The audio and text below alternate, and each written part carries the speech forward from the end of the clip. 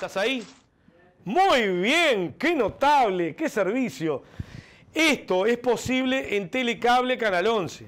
A pesar de que el Néstor se enoja a veces por, por todo lo que tiene que ver el sostenimiento de este hermoso programa, pero está bueno aprender de todo esto. Están hablando de Honduras, mire dónde está Honduras. Lo pone Beto, yo no te veo. ¿Estás acá? Pegadito con Nicaragua. y pegadito con, con, con Guatemala. Y muy cerquita de México. Pero más que nada, El Salvador, Nicaragua, Costa Rica, Panamá. A ver, ¿qué está pasando en Honduras? ¿Se acuerda que en Honduras, no hace mucho tiempo, lo sacaron el calzoncillo al presidente en un avión y lo tiraron para afuera? Un poquito más atrás. un poquito más atrás. Este, ¿Cómo era que llamaba el, presidente que sacaron? El del gorro grande. Bien. Le dieron golpe de Estado. Porque Honduras se acercó mucho a Venezuela y a Nicaragua. Ahora la oposición ganó las elecciones, porque las ganó las elecciones. La ganó, que digan lo que quieran, la ganaron. Hace una semana que no dan los resultados. ¿Estoy acá? Hace una semana que no están dando los resultados. Venían cabeza a cabeza. Ellos tienen aparentemente un proceso electoral como el nuestro, con las cuarta acta y todo lo demás, como lo tienen la mayoría. Y esas cuartas actas las tienen todos los partidos. El partido de la oposición ya sabe, lo ha demostrado, yo lo he visto, han mostrado en las cámaras las actas, me llevo por lo que veo, y han marchado el, gobierno. Ahora, ¿qué dijo acá en Honduras? Vamos a esto. Ganó la oposición. ¿Qué dijo la embajada de EEUU que está acá? Estados Unidos de Norteamérica. Su embajada, acá hay una base militar que gobierna a Honduras. ¿Te escuchó bien?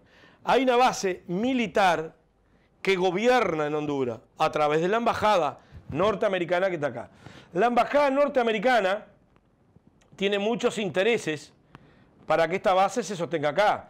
Es la que controla esta parte de Cuba y es la que controla desde Honduras y desde la base que están en Colombia, acá, controlan a Venezuela. ¿Sí?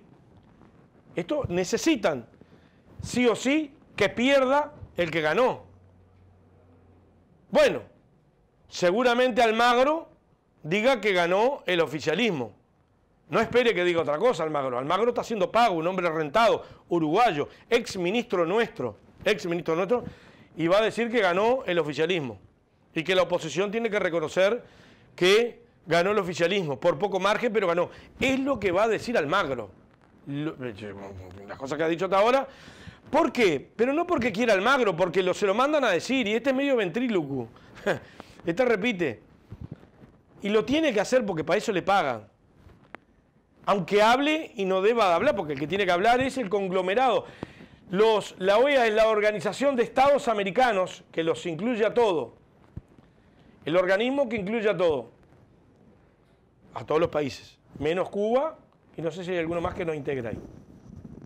Entonces, acá hay una base militar que controla toda esta parte de acá y no la van a dejar perder para que gane Celaya. Manuel Celaya era el que estaba antes, el que sacaron el calzoncillo. Entonces no lo, no, no lo van a permitir, no lo van a dejar. Por lo tanto, ¿qué es lo que van a hacer? Va a perder la oposición que ganó. Paradoja, ¿no? Ganó pero perdió. Eso es lo que va a pasar. Horas más, horas menos, dos, un par de días más. Fíjense que la elección fue el domingo, hoy es viernes, están saliendo a reprimir a la gente de la calle. Bueno, esto es lo que está pasando. Ay, tengo que pagar esto. Tengo que pagar esto. Disculpas. Ahora sí. Este, esto es lo que va a pasar acá. Dos. Dos. Sigo acá en este mapa y después me voy para Europa o para Oriente Medio. ¿Qué es lo que me cambié acá? ¿Qué es lo que está pasando acá? A ver, República Dominicana. Acá, ¿sí? Y yo no escucho nunca, todavía no escuché a República Dominicana, no escuché a nuestra Cancillería de Uruguay que diga algo que hoy en República Dominicana se está reuniendo la oposición que reconoce las elecciones en Venezuela, se reúne la oposición con el gobierno.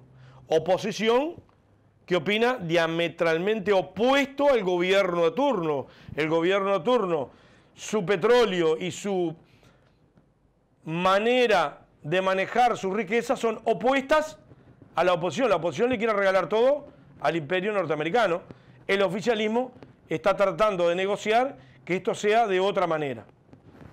Es decir, no quiere que sea para el imperio. Está claro.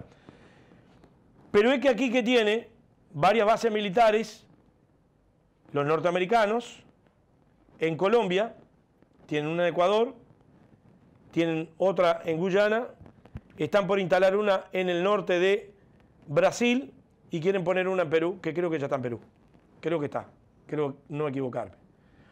esas bases que, que hacen, hacen un montón de cosas. Bases militares. Tienen más de 1.700 bases en todo el planeta, más de 1.700 bases en todo el planeta que la sostiene económicamente robando. Bien, yo quisiera que el embajador, bueno, Fíjese lo que yo escuchaba ayer a, este bobeta de, de, Almagro, un bobeta. para el que entiende algo, es tan tonto lo que hace, es tan tonto, pero es tan tonto que si yo lo tuviera que pagar a alguien que fuera tan bobo, yo lo echo, lo saco, pongo a otro, que tenga un poco más de cintura, no puede ser tan bobo.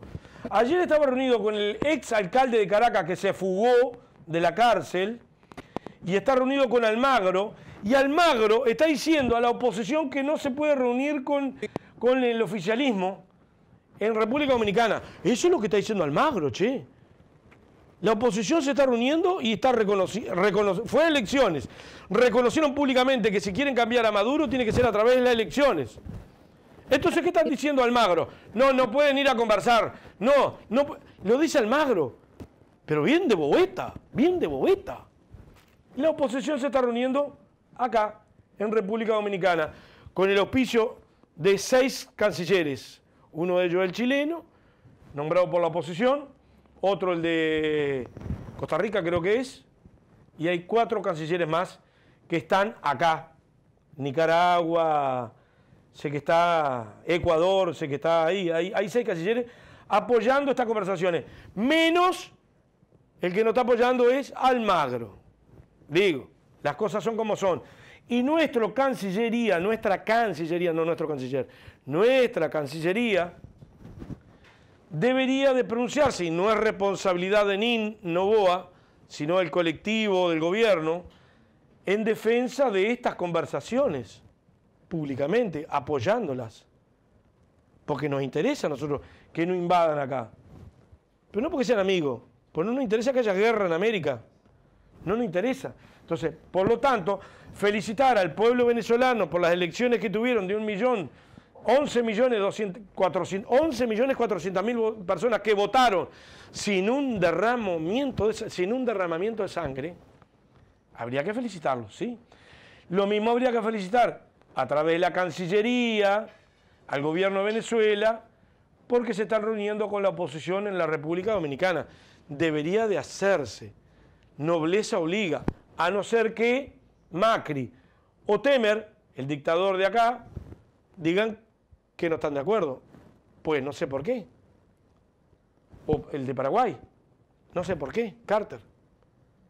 Yo creo que habría que felicitarlos. Eso como primera medida. Termino con, con este tema de estar atento con lo que pasa en Honduras. Les repito, les reitero, les repaso. La oposición ganó, pero Almagro va a decir que ganó el oficialismo. ¿Sí? Por estrecho muy margen, pero va a decir que ganó el oficialismo. Es mentira. Ganó la oposición. No lo pueden hacer de otra manera.